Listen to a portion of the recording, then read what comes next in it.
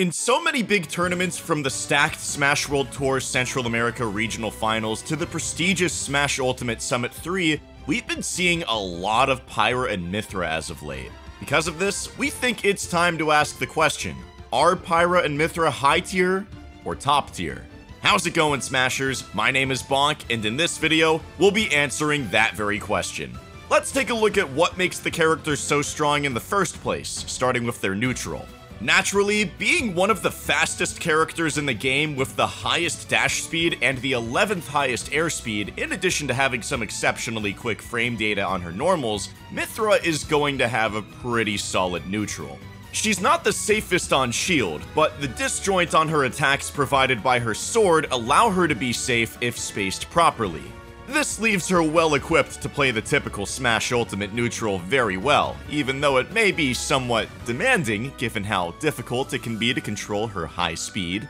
This game, I've said it now that there's more people here. This game, you have to jump through 10 hoops to punish someone drooling out of the side of their fucking mouth. You have to jump through 10, 15 fucking hoops to punish the stupidest shit. And I'm really good at jumping through those hoops. I'm really good at jumping through those hoops, not with Mythra and Pyra though. Of course, Pyra is nowhere near as fast, and her frame data is nowhere near as generous, so she won't be all that reliable in the neutral, and you'll be reliant on Mythra to create openings in most cases. With both characters, their out of shield options are exceptionally poor, and while this is exploitable, their strengths more than compensate for it.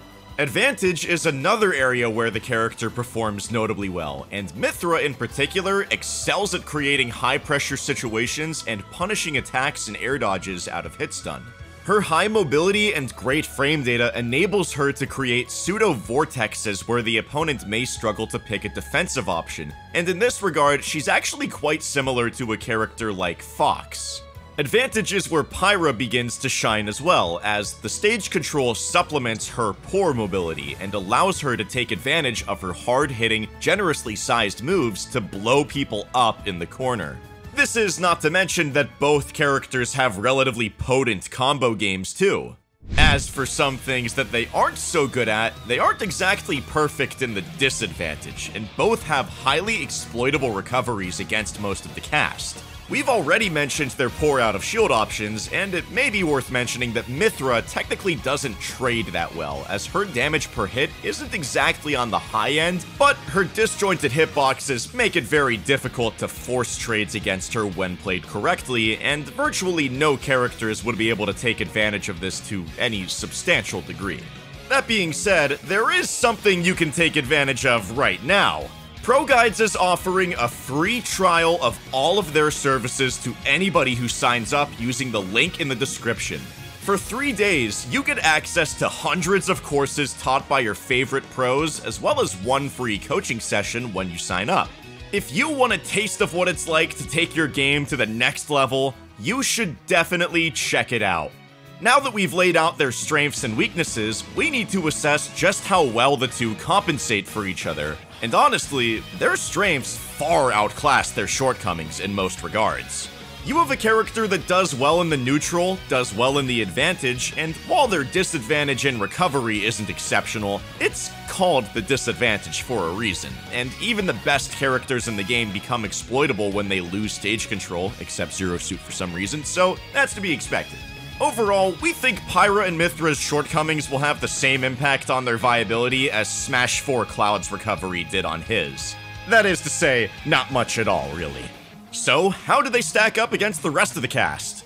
In terms of matchup spread, many notable players have speculated that Pyra and Mythra may lose no matchups at all. The only character consistently placed as a losing matchup for Pyra and Mythra, as seen on the charts of players like Spargo and Cloudy, is Pikachu.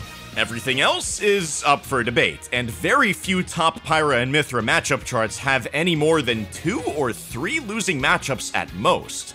This may be highly optimistic, and the counterplay to the character is still being developed as they are relatively new, but prospects are high given their recent performances at the top level. That's right, that means it's time to talk about the results, and, well, despite how recently the character was released and the ongoing global pandemic, some Pyra and Mythra players have already begun to make some noise. From MKLeo's convincing set wins over Marss and Zackray, Cosmos' dominant win over Ned, and the character's overall prominence at events like Smash World Tour Central America Regional Finals, Smash Ultimate Summit 3, and even Mega Smash Mondays 240 and 241, Pyra and Mythra are practically everywhere in the current meta.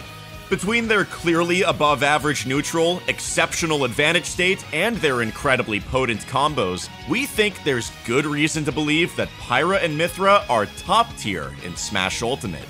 They aren't without shortcomings, but that can be said for any character. Either way, with all of the extremely capable players beginning to pick her up, including the likes of MKLeo, Cosmos, and Spargo, you should certainly expect to see more Pyra and Mythra at the top level in the near future.